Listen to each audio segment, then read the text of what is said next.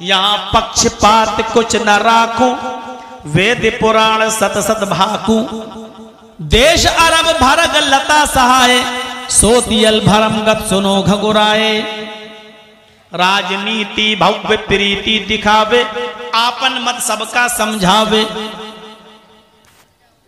जब तक मद्दी कोया, बिना महामद पार न होया। अरब का मुल्क चौदहवीं रात के चाँद की तरह चमकेगा। सोतियल भरम गत सुनो घकुराए। अरब का मुद्देश अरब भरग लता सहाय। सोतियल भरम गत सुनो घगोराए अरब देश चौदहवीं रात के चाँद के मानिन चमकेगा। उसमें चमत्कार दिखाने वाला एक व्यक्ति आएगा। चमत्कार मौजे दिखलाने वाला एक आदमी आएगा। उंगली के इशारे से चाँद के दो टुकड़े करना क्या चमत्कार न था? बकरी के थन में हाथ लगाया, बकरी ऐसे दूध देने लगी।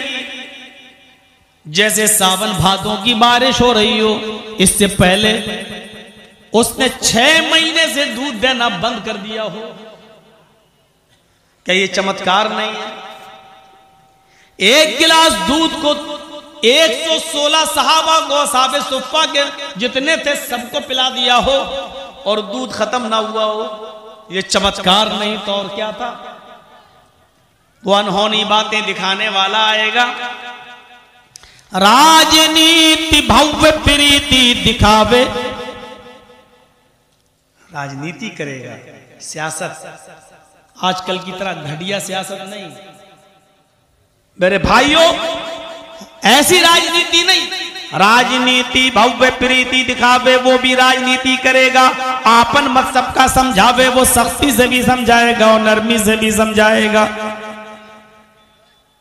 जब तक मद्दी को या मदमानी मीठी को या मानी आवाज़, जब तक मीठी आवाज़ इस दुनिया में बाकी रहेगी, यानी कुरान की तिलावत होती रहेगी जब तक कुरान इस दुनिया में बाकी रहेगा।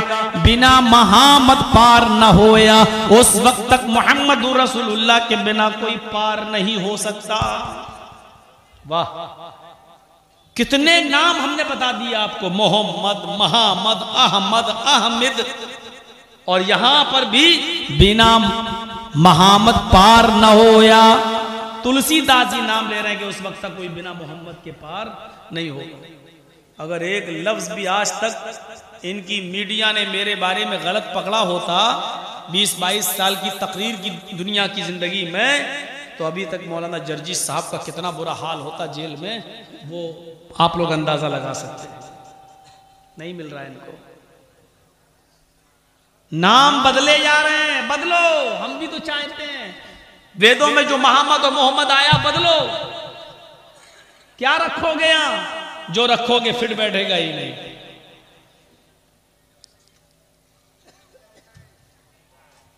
नहीं बैठेगा।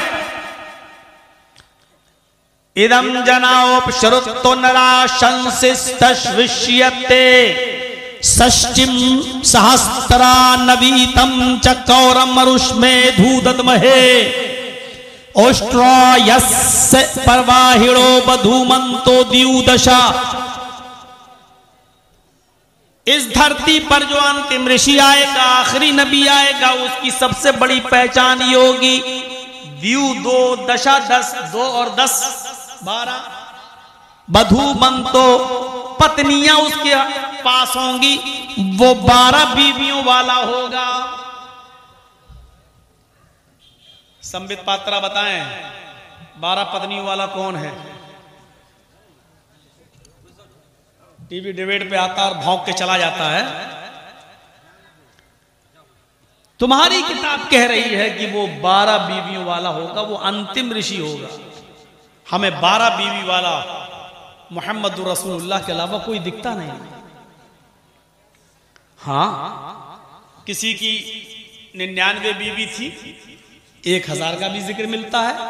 दाऊद अलैहिस्सलाम निन्यानवे अलैहिस्सलाम ने वो, सुलेमान अलैहिस्सलाम की निन्यानवे।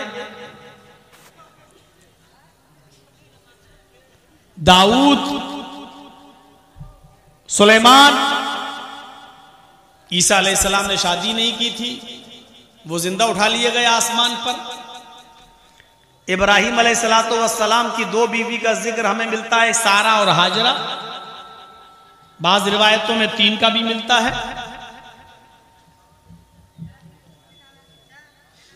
हिंदू धर्म के अंदर रामचंद्र जी के पास एक पत्नी थी सीता। लेकिन राम के पिता राजा दशरथ की तीन थी।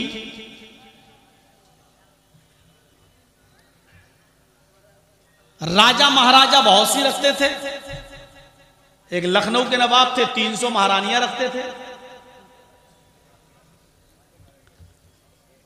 हमें 300 से मतलब नहीं, हज़ार से मतलब नहीं, एक दो से मतलब नहीं। आपका अथर्ववेद कांड 20 सूक्त नंबर 127 का मंत्र नंबर दो है। वो ये कह रहा है पड़वा हीरो उनकी प्यारी प्रिय सवारी ऊंटनी होगी। वो ऊंटनी के ऊपर सफ़र किया करेंगे, कहीं जाएँगे तो ऊंटनी पर बैठेंगे और उनकी मरी मान प्रतिष्ठा आसमान की बुलंदी को छुएगी। यानी वो बहुत महत्वपूर्ण रसूल होंगे, नबी होंगे, इज़्ज़त वाले होंगे, और उनकी सबसे बड़ी पहचान ये होगी कि उस बधू तो द्युदशा की उनकी बारह बीवियाँ होंगी। रामचंद्र जी एक रख रहे हैं, राजा दशरथ तीन रख रहे हैं सबसे ज़्यादा पत्नियाँ अगर किसी की मिलती हैं, पत्नियाँ कह लो, गोपियाँ कह लो फ्रेंड कह लो, दोस्त कह लो, जो भी कहना चाहो कह लो, अगर सबसे ज़्यादा किसी की मिलती हैं तो वो हैं कृष्ण जी। कभी आपने सुना होगा, चारों तरफ़ गोपियाँ, बीच में कन्हैया। कृष्ण जी की गोपियों की संख्या सबसे ज़्यादा मिलती है। महाभारत में तो लिखा हुआ है सोलह हज़ार एक सौ आठ। हमारा सर चकरा गया था। यहाँ लोग मोहम्मद रसूलुल्लाह की जीवनी पढ़ते हैं, अल्लाह के रसूल की सीरत पढ़ते हैं। और मोहम्मद ग्यारह ग्यारह रखते थे बारह बारह रखते थे, और कोई काम नहीं था क्या? इतनी औरतें क्या? सोलह हज़ार एक सौ आठ पढ़कर मेरा दिमाग चकरा गया। कृष्ण जी की कितनी थी? सोलह हज़ार एक सौ आठ। शौक है? रखे होंगे, हमें कोई एतराज़ नहीं है। आप जाने, लेकिन बारह बीवियों वाला, बारह पत्नियों वाला, वो अंतिम ऋषि होगा। मोहम्मद रसूलुल्लाह सल्लल्लाहु अलैहि वसल्लम की ग्यारह बीवियाँ थी, जिनके साथ आपने निकाह किया था। बैठ वक्त आपके निकाह में सात बीवियाँ ज़िंदा रही। निकाह आपका ग्यारह बीवियों के साथ हुआ। और एक औरत आपकी ऐसी थी जिसके साथ निकाह नहीं हुआ था, जो लौंडी थी, जो बांदी थी, जो मुकोकिस के मुल्क के शाम के बादशाह ने दो लड़कियाँ, दो लौंडियाँ जो गिफ्ट में भेजी थी। एक का नाम था मारिया और एक का नाम था सीरीन। अल्लाह के नबी को दी थी। सीरीन को अल्लाह के नबी ने हज़रत हसान अपने साबित को दे दिया कि आप ले लो। और मारिया को आपने खुद अपने पास बतौरे लौंडी के रखा था। फिर उसी लौंडी से नबी अकरम का एक बच्चा भी पैदा हुआ, जिस बच्चे का नाम था इब्राहिम। हालाँकि वो बच्चा भी डेढ़ साल की उम्र में अठारह महीने की उम्र में इंतकाल कर गया। तो ग्यारह बीबी और एक लौंडी। तादाद जोड़ी जाए तो बारह। बारह बीबियों वाला अगर हमें कहीं दिखाई देता है तो वो है मोहम्मद रसूलुल्लाह सल्लल्लाहु अलैहि वसल्लम। इससे ज़्यादा स्पष्ट कहीं मिल सकता है। और क्या शब्द चाहिए? बारह बीवी वाला। नाम तक मिलता है। नाम तक। तच्छुद्वा पुंडरी का छो ब्राह्मण विदम्बरीति भवन शंभलो विष्णु यशसुग्रह सुमति प्रादुर्भुवाभ्यम विष्णु यश के घर में सुमति के पेड़ से पैदा होंगे। मोहम्मद रसुल्लाम के बारे में कहा जा रहा अंतिम ऋषि, विष्णु यश के घर में सुमति के गर्भ से। बाप का क्या नाम बताया? विष्णु यश। माँ का नाम? सुमति। बदलो नाम। बहुत बदलने का शौक है ना? विष्णु अल्लाह का नाम है। हिंदू धर्म में तीन देवी, तीन खुदा सबसे बड़े माने जाते हैं। ब्रह्मा, विष्णु, शिव। ब्रह्मा, विष्णु और शिव। विष्णु अल्लाह का नाम यशमानी भक्त, बंदा। विष्णु यश, अल्लाह का बंदा। ये किसका नाम है? मोहम्मद सल्लल्लाहु अलैहि वसल्लम के बाप का नाम। क्या? विष्णु यश, अल्लाह का बंदा। अल्लाह के नबी के बाप का क्या नाम है? अरबी में? अब्दुल्ला। क्या मतलब हुआ? अल्लाह का बंदा। अब्द मानी अब बंदा और अल्लाह। अल्लाह का नाम अब्दुल्ला। क्या मतलब हुआ? अल्लाह का बंदा। विष्णु यश कह लो या अब्दुल्ला। बात तो एक ही है। चलो। संबित पात्रा डिबेट में हमें बुलाए। मैं उससे पूछता हूँ, कल की अवतार का नाम क्या है? कहेगा नराशंस मैं कहूँगा, चलो, हमने मान लिया। तो मोहम्मद नहीं मानते हो, मत कहो। नराशंस कहते हो। मान लिया। नर आदमी आशंस जिसकी बहुत तारीफ़ की जाए। ऐसा आदमी जिसकी बहुत तारीफ़ की जाए। मोहम्मद हम जिसे बनाए, ऐसा शख्स जिसकी सबसे ज़्यादा तारीफ़ की जाए। मोहम्मद नहीं मानते मत मानो। नराशंस मान रहे हो? चलो, जर्जीत से पूछो। अल्लाह के नबी के बाप का क्या नाम था? मैं कहूँगा अब्दुल्ला। संबित पात्रा, तुम बताओ। कहेगा, नहीं, विष्णु यश। हम वो कहेगा मोहम्मद हम अब्दुल्ला नहीं मानते। मैं कहूँगा मैं विष्णु यश मानता हूँ। चलो। तुम विष्णु यश को ही मान लो। विष्णु यश अल्लाह का बंदा। माँ का नाम सुमति। सुमति के पेट से आएगा। सुमति के गर्भ से पैदा होगा। ये आपकी किताब कह रही है सुमति के गर्भ से सु, सुंदर मतिवानी शांति अमन सुकून। इन सबको पकड़ के बिठाओ तो ए, बैठो यहीं पर। यहीं बैठाओ पेशाब लगे यहीं करो चलो। नौटंकी बना के रख लिए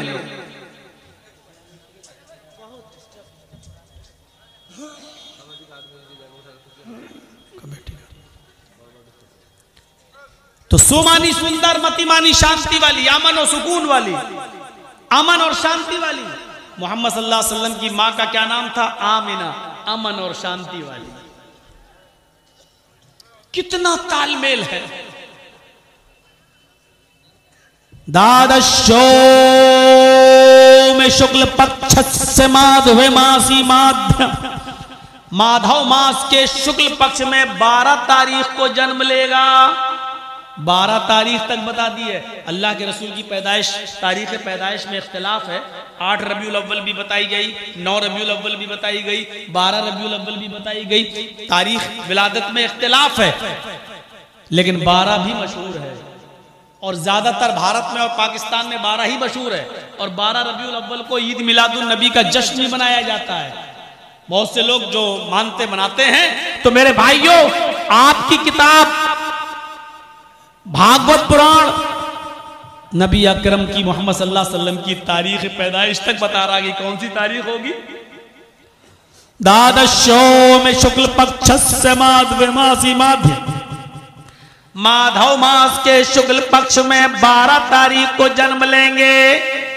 बारह तारीख को पैदा होंगे। बारह तारीख भी आ गई। विचरण न सुना, छोड़िया है ना प्रति मगुती। निर्बलिंग तो दस्यून कोटिशोनि हनिष्यति। विचरण न सुना, छोड़िया है ना प्रति मगुती। इतने सुंदर होंगे, इतने सुंदर होंगे, इतने सुंदर होंगे। कि उनकी सुंदरता, उनकी खूबसूरती तुम्हारे विचारों में नहीं आएगी।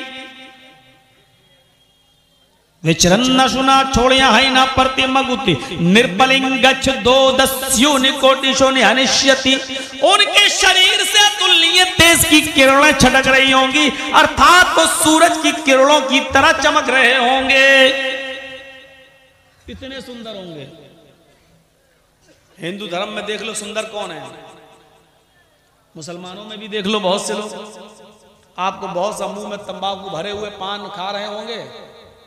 और एक खराब सा कपड़ा लेके ट्रेनों में घूम रहे होंगे बड़े बड़े बाल होंगे करते हुए भीख मांग रहे होंगे।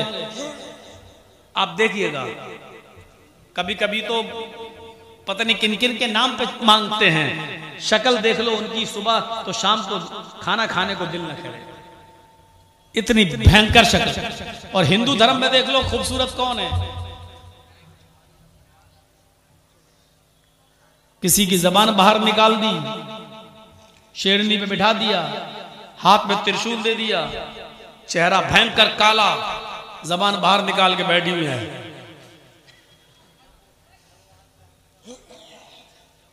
कोई खूबसूरती नहीं। अंतिम ऋषि के बारे में आपकी किताब के इतने खूबसूरत इतने खूबसूरत इतने खूबसूरत कि तुम्हारे दिमाग में नहीं आएँगे उनकी खूबसूरती तुम्हारे दिमाग में नहीं आई। उम्म सुलैम कहती हैं कि अल्लाह के नबी सल्लल्लाहु अलैहि वसल्लम का चेहरा रात की तारीकी में जब चमकता था तो आप इतने सुंदर थे, इतने सुंदर थे कि वो दूर से आते थे तो उनकी पेशानी जब चमकती थी तो हम अंदाज़ा लगा लिया करते थे, ये चमकने वाली पेशानी सिवाय मोहम्मद के और किसी की नहीं हो सकती। फजीलत का के बाब में अगर एक दो जरीफ रिवायतों को शामिल कर लिया जाए तो ऐसी ऐसी रिवायतें मिलती हैं कि अल्लाह के नबी जब मुस्कुराते थे तो आपके दांतों की लाइट और आपके दांतों की चमक से ज़मीन पर पड़ी हुई सुई भी लोग ढूंढ लिया करते थे, तलाश कर लिया करते थे। ऐसी खूबसूरती थी, किसी के अंदर इतनी हिम्मत नहीं थी जो नज़रों से नज़रें मिलाकर देर तक आपसे बातें कर सके। इतना रोप चमक इतना रोप टपकता था आपके चेहरे से, इतना रोप टपकता था आपके चेहरे से कि आदमी आँखों में आँखें डालकर ज़्यादा देर बात नहीं कर सकता था। अबू बकर भूखे हैं। अल्लाह के नबी सल्लल्लाहु अलैहि वसल्लम अपने दोस्त अबू बकर के साथ चले चले जा रहे हैं। एक दरवाजे को दस्तक देते हैं। अंदर से एक औरत बाहर निकलती है। उस औरत का नाम है उम्म माबद। अभी इस्लाम नहीं लाई, मुसलमान नहीं हुई है। आपने देखा उम्म माबद को और उम्म माबद ने देखा मोहम्मद रसूलुल्लाह को। वो भी नहीं पहचान पाई। कहने लगी, बेटे, मेरे दरवाजे पे कैसे आना हुआ? अल्लाह के नबी का जवाब सुनिए। माँ मेरे दोस्त को भूख लगी है। अगर तेरे घर में खाने की कोई चीज़ हो तो दे दे। वो अंदर गई, किचन में जाती है और कहती है, बेटे, मेरे घर में पानी के सिवा कोई चीज़ नहीं है जो मैं तुझे दे सकूँ। ऐसा कर, थोड़ी देर मेरे घर पे आराम कर ले। दूर से आया हुआ है तू, मेरे घर पे आराम कर ले। मेरे हस्बैंड मेरे पति, मेरे शोहर जंगल गए हुए हैं, शिकार करने गए अभी शिकार का ताज़ा ताज़ा गोश्त लाएँगे, हम खाना बनाएँगे और तुझे खिला देंगे। माँ, इतनी देर हमारे पास नहीं है, हम किसी काम से जा रहे हैं। अच्छा ऐसा कर, ये घर के आँगन में जो बकरी बैठी हुई है, इस बकरी का दूध दोहकर पिला दे। बुढ़िया हंसने लगी, कहती है, बेटे, इस बकरी ने तो छह महीने पहले से दूध देना बंद कर दिया है। अल्लाह के नबी ने कहा, माँ, इजाज़त तो तू तो एक बर्तन ले आ। मैं इस बर्तन मैं इस बकरी के थन में हाथ लगाता हूँ। मैं भी तो देखूँ, इस बकरी ने कब से दूध देना बंद किया है। बुढ़िया थी, समझ गई, बेचारे को यकीन नहीं हो रहा है। भूखा है ना? यकीन नहीं हो रहा है, मुझे झूठा समझ रहा है। अंदर जाती है, बर्तन लाती है, पकड़ाती है, जा तू ही देख ले। जा, मुझ पर यकीन नहीं आता तो तू ही देख ले। अल्लाह के नबी आगे बढ़ते हैं। जो बकरी अपनी मर्ज़ी से खड़ी नहीं होती थी, मोहम्मद रसूलुल्लाह ने जैसे ही कदम रखे, वो बकरी खड़ी हो गई। उम्मे माबद कहती है इसको उठा उठा के थक जाती हूँ तो उड़ती नहीं और आज अपने से खड़ी हो गई। अल्लाह के नबी ने उस बकरी के थन पे हाथ मारा। पड़ा, बिस्मिल्लाह। बकरी ने ऐसे दूध देना शुरू कर दिया, जैसे सावन के महीने की बारिश हो रही है। बर्तन भर गया, दूध चपक रहा है। अल्लाह के नबी ने अबू बकर से कहा, पियो। पिया। फिर आप अल्लाह के नबी ने भी पिया। जो बचा बुढ़िया से कहा, माँ, ले तू पी ले। उसने भी पिया। कहा कि, बेटे, अभी भी कुछ बच गया। रख ले। तेरा पति आएगा तो पिला देना। आगे बढ़ने लगे। उस बुढ़िया ने पीछे पकड़ के कहा बेटा, मैं तुझे जानती नहीं हूँ कि तू कौन है। लेकिन अब थोड़ी देर रुक जा, जब इतनी देर रुकी गए हैं, मेरे शोहर आने वाले हैं। गोश्त लाएँगे, मैं बनाकर तुझे खिलाऊँगी। अच्छा माँ, आज जाने दे।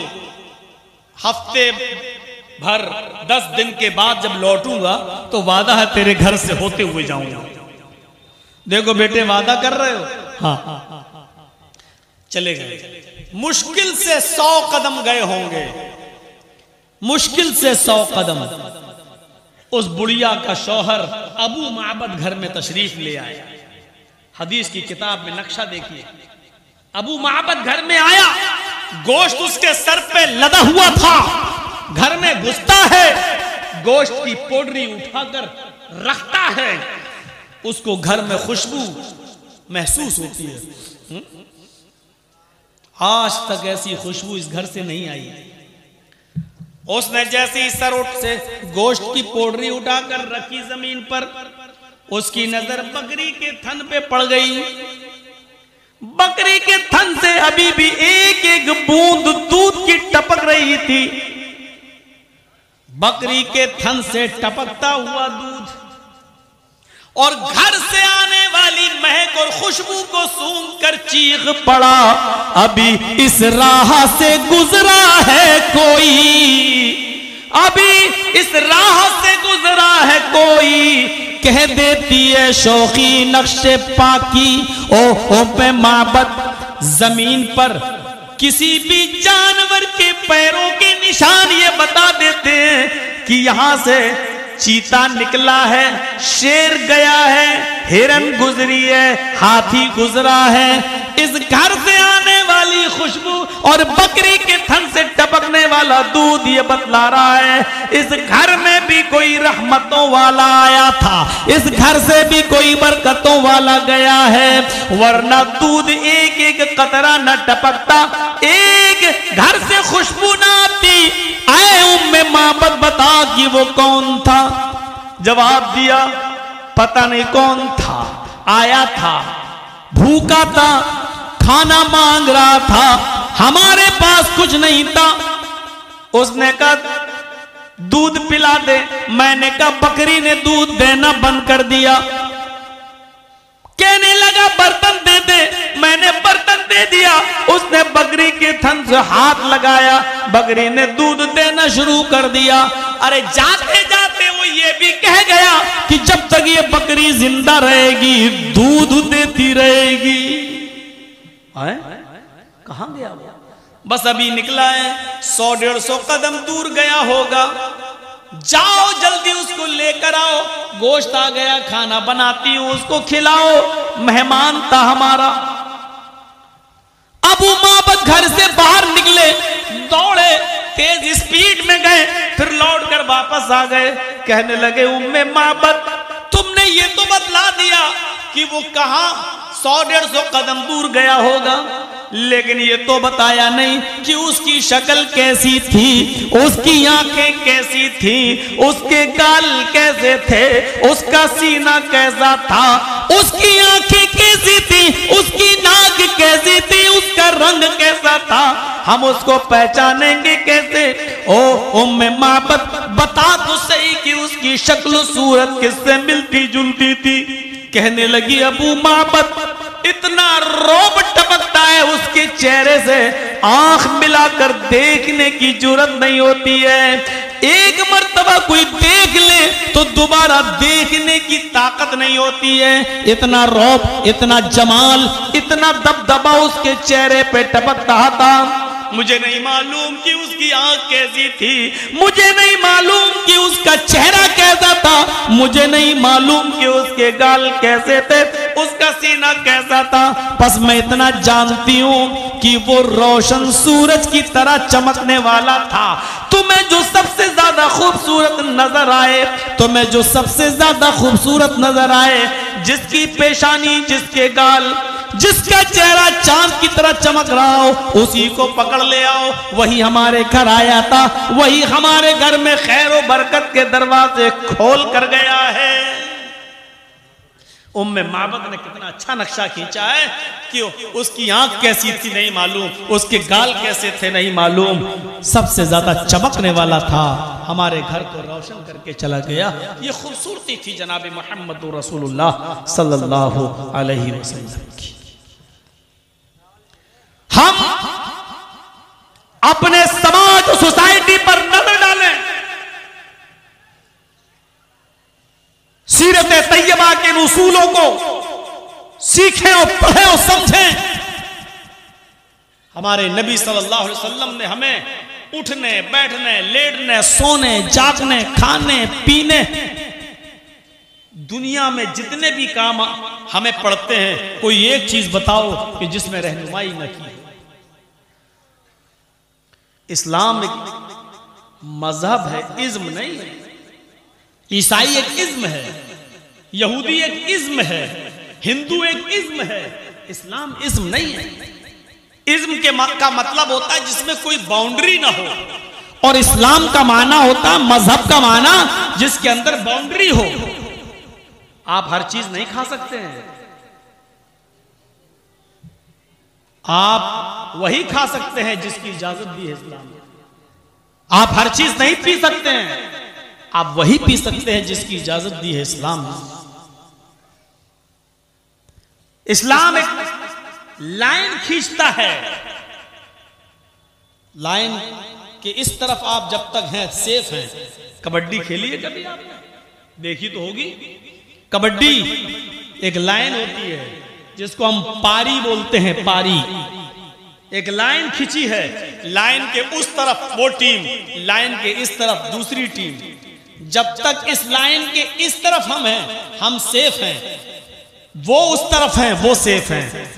उस टीम का आदमी लाइन को क्रॉस करके जब हमारे पास आ गया, लाइन क्रॉस करके जब हमारी हद में आ गया, कबड्डी कबड्डी कहते हुए तो हमें इख्तियार है उसको पकड़ने का, हमें इख्तियार है उसको झपटने का, हमें इख्तियार है उस पर कब्जा करने का, हमें इख्तियार है उसको अरेस्ट करने का, क्योंकि उसने अपनी हद को क्रॉस कर दिया, हमारी हद में घुस आया। हम जब तक पारी के इस तरफ़ हैं, सेफ़ हैं, और जब पारी के उस तरफ़ चले गए तो हम सेफ़ नहीं हैं। हमने अपनी हद को क्रॉस कर दिया है। उनको इख्तियार है हमें पकड़ने का। उनको इख्तियार है हमें दबोचने का। क्योंकि हम उनकी सरहद में चले गए। इस्लाम कहता है, हमने खाने, पीने की, उड़ने, बैठने की, लेटने, सोने की, जागने की, चलने, फिरने की, शादी ब्याह की एक बाउंड्री बना दी है, एक लाइन खींच दी है, जब तक तुम इस लाइन के अंदर हो, महफूज हो। फलाता तदूहा ईमान वालो, हद से आगे मत बढ़ना, लाइन क्रॉस मत करना। हलाल चीज़ हलाल है, खाओ। हलाल चीज़ भी हराम हो जाती है। अगर आपने मेहनत नहीं की और हराम कमाई से कमाए सोचिए, ये एक कुर्ता सौ रुपए का मिल रहा है। और कुर्ता पहनकर हमें नमाज़ पढ़ना ईद की।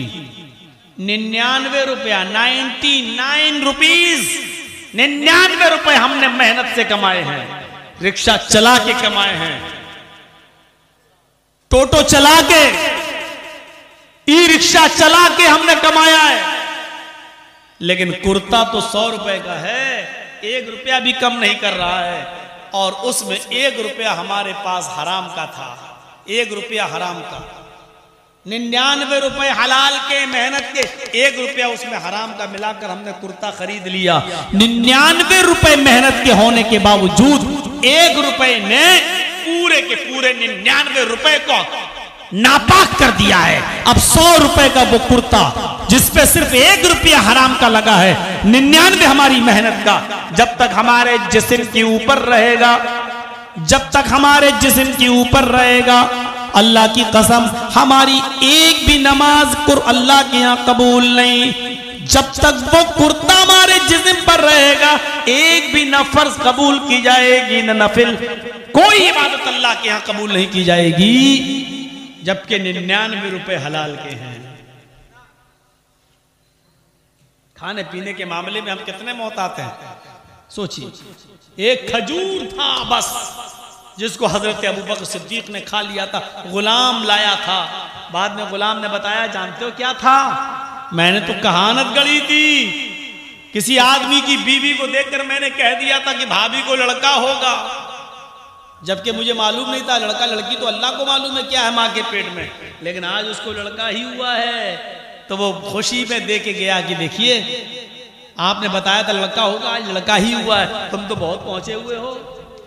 हज़रत अबू बकर सिद्दीक ने कहा अच्छा तो तूने मुझे वो खजूर खिला दिया? कहा, पानी लाओ। पानी पीते हैं और तीन उंगली डालकर कह करते हैं, थोड़ा सा निकला। फिर पानी पीते हैं, फिर कह करते हैं, फिर निकला। फिर पानी पीते हैं, फिर उंगली डालकर कह करते हैं, फिर निकला। बार बार पानी पीते गए, उंगली डालकर करते गए और उस वक्त तक कह करते रहे। उस वक्त तक कह करते गए, जब तक कि यकीन नहीं हो गया कि जो खजूर मैंने खाया था, वो पूरा का पूरा निकल गया होगा। एक खजूर वो भी धोखे से खाया था, उसको भी निकाल दिया। यहाँ नमाज़ पढ़ रहे हैं साहब। माशा अल्लाह पूछो मत। नमाज़ पढ़ के हम निकलते हैं, दाढ़ी पे हाथ फेरते हुए। ऐसा लग रहा है जैसे अल्लाह पर हम बहुत बड़ा एहसान करके आए हैं। अल्लाह पर एहसान करके आए हैं हम।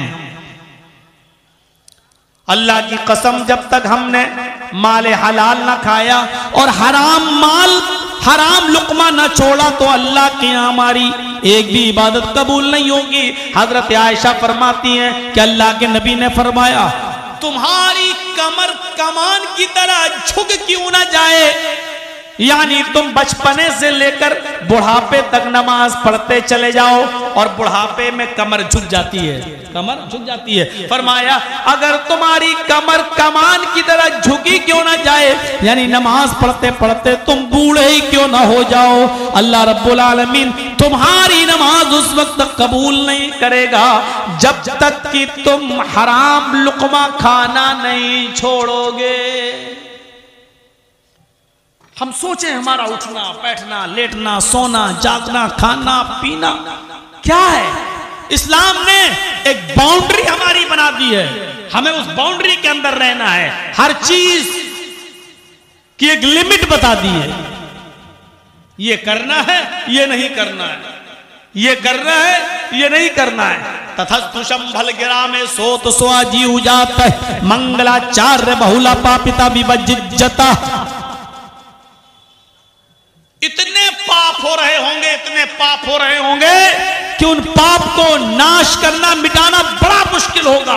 ऐसे दौर में इतकलोकत प्राय जनेशु घर घर मिली। धर्म त्राणाय सत्वने भगवान दृश्य थी जब कलयुग में पूरे के पूरे मानव जाति जानवर बन चुकी होगी। जानवर। जैसे एक जानवर को जानवर की फ़िक्र नहीं होती है। समंदर में मछलियाँ अपने बच्चों को खा जाती हैं। भूख लगने पर एक जानवर अपने बच्चे को मार के खा जाता है।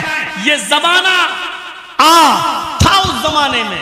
मोहम्मद रसूलुल्लाह जब आए तो यही जमाना था कि बाप अपने घर में पैदा होने वाली अपनी बेटी को ही ज़िंदा दफन कर दिया करता था, ज़िंदा गाड़ दिया करता था। बेटी को बेटी नहीं समझता था। पैदा हुई, ज़िंदा। रूह काँप जाती है, ज़िंदा ज़िंदा। सोचिए तो सही कि उस बेटी को, उस छोटी सी बच्ची को जब ज़मीन खो दी जाती होगी। और वो भी हाल की बच्ची को नहीं कि आज पैदा हुई, कल दफन कर दो नहीं। जब वो चार साल की हो जाया करती थी, चार साल की, उस वक्त उस बच्ची को ले जाया जाता था। सीरत की किताबें पढ़िए तो आपको पता चलेगा, चार साल की बच्ची को नहलाया जाता था, धुलाया जाता था, साफ़ किया जाता था मेकअप किया जाता था, उसको नए कपड़े पहनाए जाते थे। और कहा जाता था, बेटी, हम तुम्हें मेले में लेकर चल रहे हैं। मेले में लेके चल रहे हैं। तयशुदा वक्त के ऊपर उस बच्ची को लेके जाया जाता। माँ उस बच्ची को नहलाती जाती और रोती जाती। और बच्ची कहती जाती, माँ, तुम रोती क्यों? हम तो अपू के साथ मेले में जा रहे हैं। शाम को हम वापस आ जाएँगे। लेकिन माँ को मालूम है कि बेटी तू जिस जगह जा रही है, ये ऐसी जगह है कि जहाँ से वापस आना मुश्किल है। नामुमकिन है, तू वापस नहीं आ सकती। लेकिन बेचारी वो अपनी बेटी को बता भी नहीं सकती, समाज में दस्तूर। पैदा होने के बाद नहीं, चार साल की हो जाने के बाद नहला धुला कर नए कपड़े पहनाकर बाप उंगली पकड़कर अपनी बेटी को लेके जाता। पहले से कबर खुदी हुई रहती, एक गड्ढा बना हुआ होता। बाप कहता कि बेटी, ये मंजर बड़ा खतरनाक हुआ करता था। बाप कहता, बेटी, जरा इस गड्ढे में झाँक कर देखो, इस कब्र में झाँक कर देखो, तुम्हारी अम्मी नज़र आएँगी। छोटी सी चार साल की बच्ची अपनी अम्मी को देखने के लिए उस कब्र में झांकती, उस गड्ढे में झांकती। पीछे से जालिम बाप हाथ का इशारा करता, धक्का देता, और वो छोटी सी चार साल की बच्ची उस गड्ढे में गिर जाती। और फिर ये मिट्टी देता। ऊपर से वो हाथ चलाती अबू ये क्या कर रहे हैं? और पूरा का पूरा ज़मीन पे पाट देता। आखिरी आवाज़ तक रुकता कि कहीं ज़िंदा तो नहीं है। और जब उसकी आखिरी चीख भी निकल जाती, बंद हो जाती, आवाज़ नहीं आती, तब वो वहाँ से चलता। और आकर समाज में सोसाइटी में, मोहल्ले में, गाँव में आकर फख्र के साथ बयान करता। आज मैंने अपनी बेटी को ज़िंदा दफन कर दिया। उसको इनाम दिया जाता था। उसको इनाम दिया जाता था। मेरे प्यारे साथियों, ये जानवरियत, ये हैवानियत की एक रसम थी अरब की सरजमीन पर। जुआ तो इतना खेला जाता था कि जुए के अंदर लोग जब रकम हार जाते थे तो मकान लगा दिया जाता था। मकान जुए में हार जाते थे तो वो बीवी जुए में लगा दिया करता था। और जब बीवी भी जुए में हार जाता तो वो अपनी जवान बेटी जुए में लगा देता। शराब का हाल तो ये था कि जब बच्चा अरब के अंदर पैदा होता तो हमारे यहाँ उसको सबसे पहले अपना दूध पिलाती या उसको शहद चटाती हमारे यहाँ का दस्तूर यह है कि माँ अपने बच्चे को या तो शहद चटा देती या अपना दूध पिलाती। लेकिन अरब के अंदर जब बच्चा पैदा होता तो उसके हलक में सबसे पहले शराब की कतरे डाले जाते, शराब की बूंदें डाली जाती। ये इस बात का इशारा था कि बेटा, बड़े होकर तुझे अपने बाप के नक्शे कदम पर चलना है। इसी शराब के अंदर जीना है, इसी शराब के अंदर मरना है। ये शराब जब बच्चा पैदा होता तो सबसे पहले उसके हलक में शराब के कतरे डाले जाते, उसकी रगों में सबसे पहले जो चीज़ दौड़ती थी, वो शराब के कतरे हुआ करते थे। धीरे धीरे बड़ा होता जाता, शराब परवान चढ़ती जाती। यहाँ तक कि एक आदमी जब खाना खाने के लिए बैठता था तो पानी की जगह पर शराब की बोतल रख लेता था। खाना खाता जाता और शराब पी पी कर उस खाने के लुकमे को हलक के नीचे उतारता जाता। शराब उनकी रगों में ऐसी दौड़ती थी कि शराब के नशे में वो किसी के जानवर को कत्ल कर दिया करते थे। उसका कलेजा निकाल कर किसी को दे दिया करते थे। शराब के नशे में बहुत से तो ऐसे थे जिन्होंने अपनी बेटियों तक का हाथ पकड़ लिया था। बेटियों तक का हाथ पकड़ लिया था।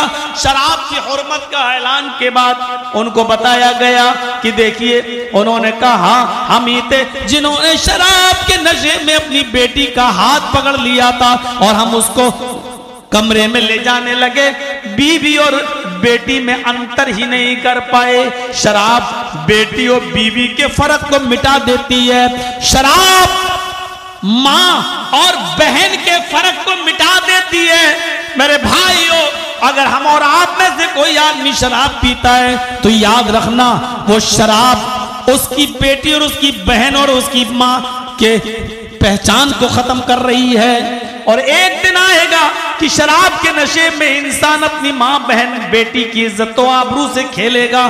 खुद अल्लाह के नबी सल्लल्लाहु अलैहि वसल्लम ने फरमाया, ला याती नाला उम्मती माताला बनी इसराइल। हजबन नाली बिन नाल, जैसे पैरों में दोनों जूते बराबर बराबर पहने जाते कोई छोटा और बड़ा नहीं होता। दोनों बराबर होते हैं। उसी तरह मेरी उम्मत और बनी इसराइल दोनों बराबर होंगे। कोई फ़र्क नहीं होगा मेरी उम्मत में और बनी इसराइल में। अगर बनी इसराइल में कोई अपनी माँ के साथ ऐलानिया, जिना किया होगा, बनी इसराइल में किसी ने अपनी माँ के साथ ऐलानिया, जिना किया होगा तो माँ ताला बनी इसराइल उम्मती, माँ ताला बनी इसराइल तो मेरी उम्मत में भी ऐसा होगा, मेरी उम्मत में भी ऐसा होगा कि एक शख्स अपनी माँ के साथ ऐलानिया जिना करेगा, अपनी बहन अपनी बेटी के साथ वो ऐलानिया जिना करेगा, चौराहे पर मुँह काला करेगा, अपनी माँ, अपनी बहन, अपनी बेटी के साथ, और इसकी जिम्मेदार होगी यही शराब। मोबाइलों पर, आजकल टीवियों पे कौन देख रहा है? आजकल मोबाइलों पर देखी जा रही है। ये सारी गलत चीज़ें गलत तस्वीरें गलत फ़िल्में ये चीज़ें जिम्मेदार होंगी नौजवानों के हाथ को माँ, बहन और बेटी के गरीबान तक ले जाने की। हम है कहा? हकी पढ़िए और सुरन दारमी का मंजर देखिए। एक सहाबी अल्लाह के नबी के पास आती है और कहती है, अल्लाह के नबी मैं मस्जिद में नमाज़ के लिए जाती हूँ। आपने कहा, जा सकती हो। उसने कहा, मैं चादर, यानी बुरका। उस जमाने में बुरका नहीं, लंबी चादर हुआ करती थी। मैं चादर जरा लंबी पहनती हूँ। आपने कहा, ठीक करती हो। उसने कहा कि ज़मीन से रगड़ती हुई हमारी चादर जलती, जाती है। आपने कहा, चादर इतनी नीची होनी चाहिए। उसने कहा, अल्लाह के नबी कभी कभी बीच सड़क पर गंदगी पड़ी होती है, लेटरिन पड़ी होती है, नापाकी पड़ी होती है। अगर दाएँ और बाएँ मर्द बैठे हो, मेरे दाएँ भी मर्द और बाएँ भी मर्द बैठे हो तो मैं दाएँ से नहीं गुजर सकती, बाएँ से भी नहीं, क्योंकि दोनों साइड में मर्द बैठे हुए हैं। बीच में गंदगी पड़ी हुई है तो क्या मैं अपनी चादर को थोड़ा सा ऊपर कर लूँ? होता ना, जैसे रास्ते में कीचड़ पड़ी हुई है तो हम और आप थोड़ा सा लुंगी ऊपर करते हैं और आगे बढ़ जाते हैं। करते ही हमारी माँ बहनें थोड़ा सा साड़ी ऊपर की और आगे बढ़ गई, ताकि भीग न जाए। तो उस औरत ने सहाबिया ने कहा अल्लाह के नबी, रास्ते में गंदगी पड़ी है, दाएँ बाएँ मर्द बैठे हुए हैं तो क्या मैं थोड़ी सी चादर ऊपर करके गंदगी को क्रॉस कर लें?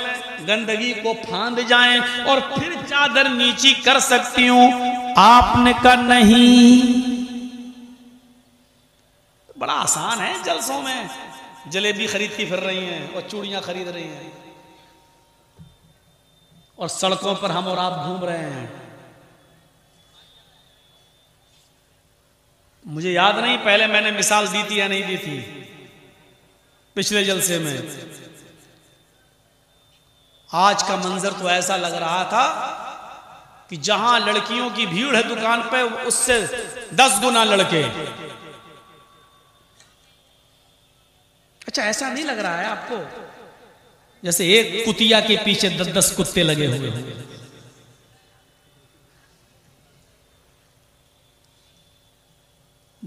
अब हँसते हैं मिसाल पर।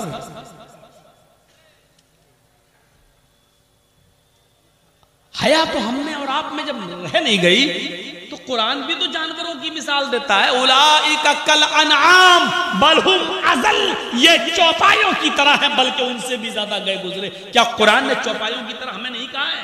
क्या अल्लाह ताला ने चौपायों की मिसाल, इंसानों की मिसाल चौपायों से नहीं दी? उलाई का कल अनाम ये चौपायों की तरह है। बल्कि उनसे भी ज़्यादा गए गुजरे। तो चौपायों में तो कुत्ता भी आता है और ज़ाहिर है उसमें सुअर भी आता है। वो कोई और होंगे जो कहते होंगे, सुअर मत कहो, सुअर कहने से चालीस दिन जबान गंदी रहती तुम्हारे बाप का फतवा होगा। नहीं मानता ऐसे फतवे को, ऐसे फतवे मुल्ला मौलवियों के मेरे पैरों के जूते के नीचे। अरे सुअर को सुअर नहीं कहोगे तो क्या कहोगे पीआईजी साहब? कुत्ते को कुत्ता नहीं कहोगे तो क्या कहोगे डीओजी साहब? अरे, सुअर है तो है। कुरान मिसाल दे रहा है उलाई का कल अनाम ये चौपाइयों की तरह है, बल्कि उनसे भी ज़्यादा गए गुजरे। चौपाइयों में सुअर भी शामिल है और कुत्ता भी शामिल है। अगर हमने ये कह दिया कि ऐसा लग रहा है जैसे एक कुतिया के पीछे दस दस कुत्ते तो आपको बुरा लगता है? बुरा ही लगता है तो घूम क्यों रहे हो? यही ज़िम्मेदारी होगी, यही चीज़ें जिम्मेवार बनेंगी। अल्लाह के नबी कहते हैं, नहीं, तुम चादर ऊपर नहीं कर सकती हो। उस औरत ने कहा, फिर क्या करूँ? अल्लाह के नबी कहते हैं, चादर को नीचे ही रहने दे और गंदगी के ऊपर से निकल जा। उसने कहा, अल्लाह के रसूल, क्या मेरी चादर में लेटरीन नहीं लग जाएगी, गंदगी नहीं लगेगी? आपने कहा, बिल्कुल लग जाएगी। कहा अल्लाह के नबी मैं मस्जिद में उसी चादर को ओढ़कर नमाज़ पढ़ती हूँ। जब उसमें गंदगी लग जाएगी तो मैं नमाज़ कैसे पढ़ूँगी? मैं मस्जिद में भी जाने के बाद चादर नहीं उतारती हूँ। जब हम उस गंदगी को क्रॉस करेंगे और उसमें गंदगी लग जाएगी तो फिर मैं उस चादर को ओढ़कर नमाज़ कैसे पढ़ूँगी? अल्लाह के नबी फरमाते हैं कि तुम उस चादर को ओढ़कर नमाज़ पढ़ लेना, तुम्हारी नमाज़ हो जाएगी। कहा अल्लाह के नबी, गंदगी लगी रहेगी, फिर कैसे होगी? फरमाया, नहीं, उसमें गंदगी नहीं लगी रहेगी, क्योंकि जब तुम उस चादर के ऊपर से गुजरोगी, उस गंदगी के ऊपर से गुजरोगी तो चादर में गंदगी ज़रूर लगेगी। उस वक्त चादर तुम्हारी गंदगी से गंदी हो जाएगी, लेकिन जब तुम आगे बढ़ोगी उस गंदगी को क्रॉस करके जब आगे बढ़ोगी तो ज़मीन पर पड़ी हुई पाक मिट्टी से तुम्हारी चादर रगड़ रगड़ खाए जब रगड़ खाएगी तो रगड़ रगड़ कर चलने की वजह से वो मिट्टी उस गंदगी को पाक कर देगी तुम्हारी चादर को पाक कर देगी पा, ज़मीन पर पड़ी हुई पाक मिट्टी से तुम्हारी चादर पाक हो जाएगी। थोड़ी सी चादर ऊपर करने की भी इजाज़त नहीं दी। कैसी हमारी हिम्मतें हैं और हमारे कलेजे को सलाम। कितना बड़ा दिल और गुर्दा है कि हम जलसों के अंदर भी लिपस्टिक लगा के आ रहे हैं। मेकअप करके आ रहे हैं। जलसों में बैठने का नाम नहीं, बाज़ार घूम रहे हैं और अपने बच्चों को घुमा रहे हैं। और कितने तो ऐसे हैं जो मोबाइल पे बात करके आए होंगे कि हाँ फला जगह मिलेंगे, जलसे में आइए। आज तो तुम्हारे अब्बू भी भेज देंगे, पापा भी भेज देंगे। जलसे के नाम पर कौन मना करेगा? कितनों तो ऐसे होंगे जिन्होंने मोबाइल पर पहले से टाइम भी फिक्स कर लिया होगा और मिलने की जगह भी फिक्स कर ली होगी। कमा तुदीन तुदान। जैसे तुम कर रहे हो ना, दूसरों की बहनों के साथ। याद रखना तुम्हारी बहनें भी ये प्लानिंग बना चुकी हैं दूसरों से मिलने। की ये तो कर्ज है। ये तो वसूल होना ही है। ये वो गंदी सड़क है जिसकी आखिरी मंजिल आपका दरवाज़ा है।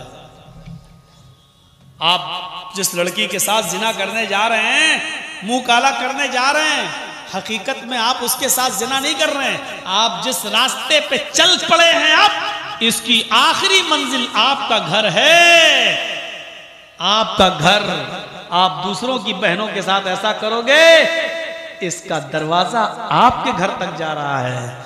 पुराने करीम ने इसको गंदा काम के साथ साथ बहुत गलत रास्ता भी कहा है। क्या कहा है?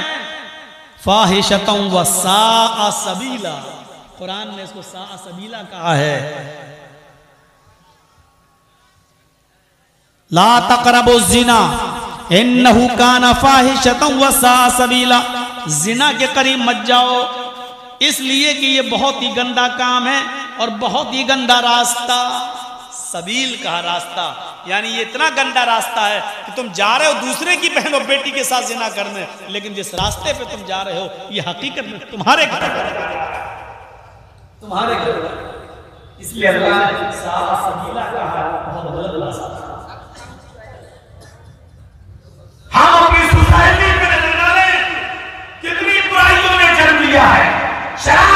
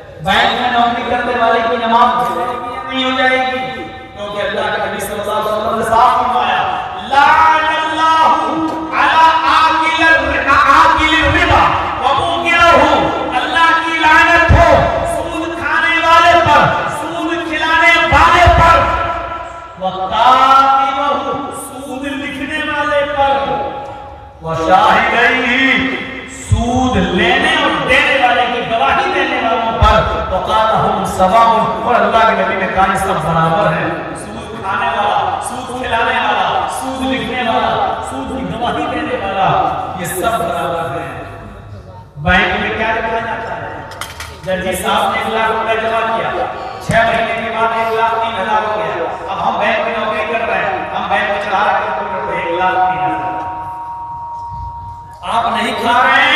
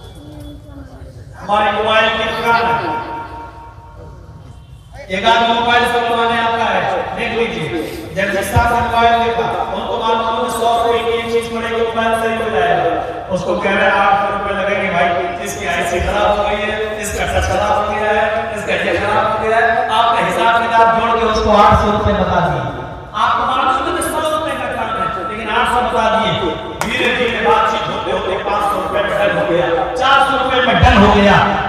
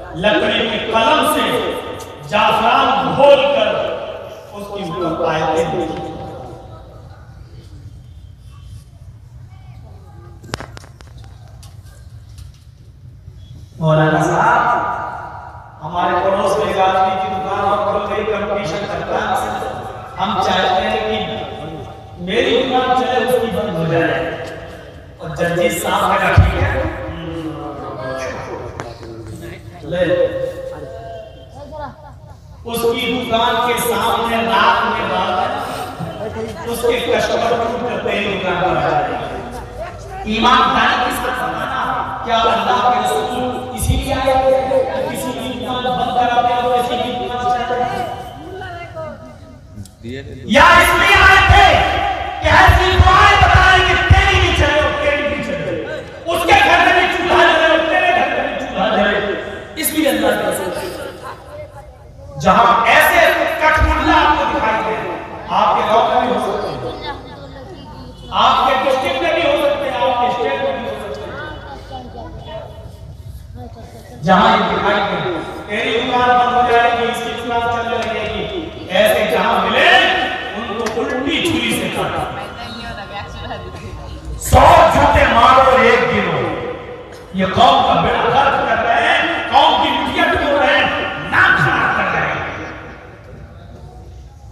इस्लाम पाँच वक्त की नमाज़ बताता है पाँच वक्त की नमाज़ आप पढ़िए तो आपकी रोजी रोटी में कभी बदतर खत्म नहीं होगी।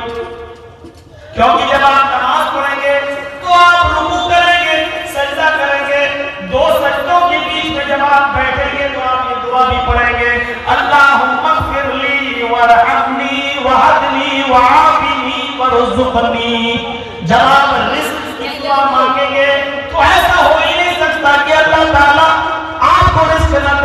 दिन भर में पाँच वक्त आप नमाज़ पढ़े और रिस्क की दुआ मांगे और अल्लाह को रिस्क न दे। फरमाया जो अल्लाह पर भरोसा कर अल्लाह उसके लिए काफ़ी हो जाता है। वो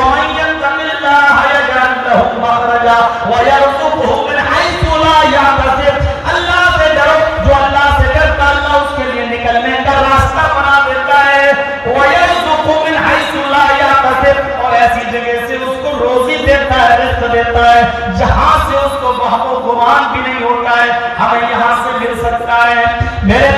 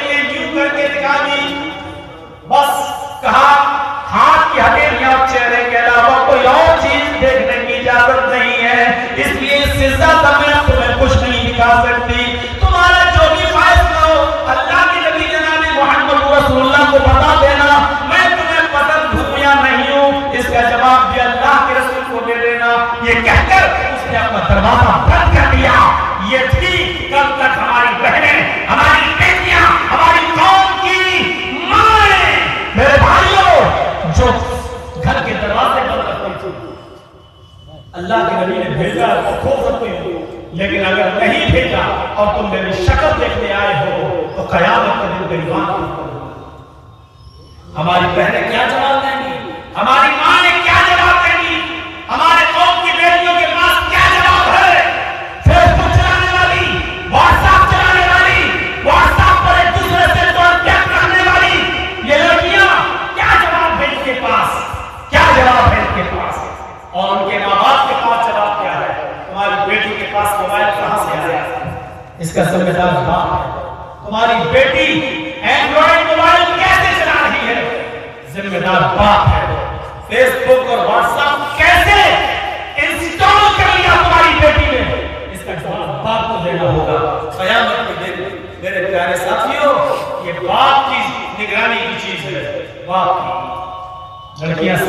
दुआ मांगती हैं सर्दी जल्दी है।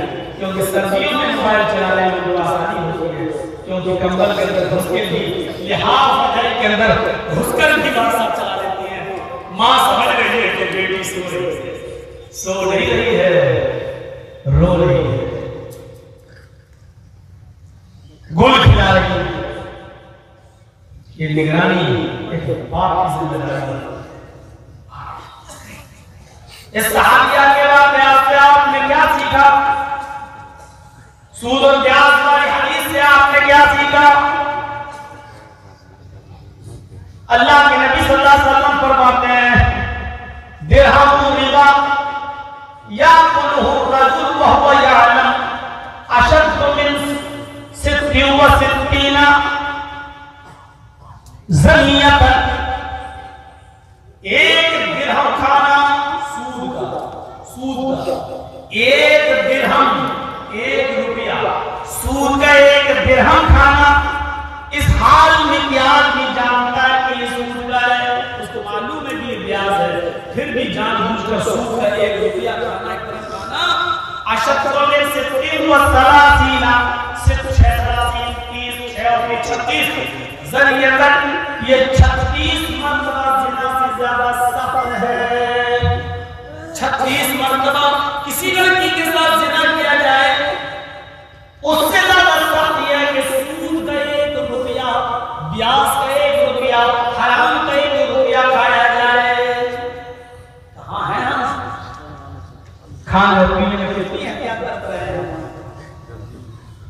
इसीलिए कहा कि शरीयत इस्लाम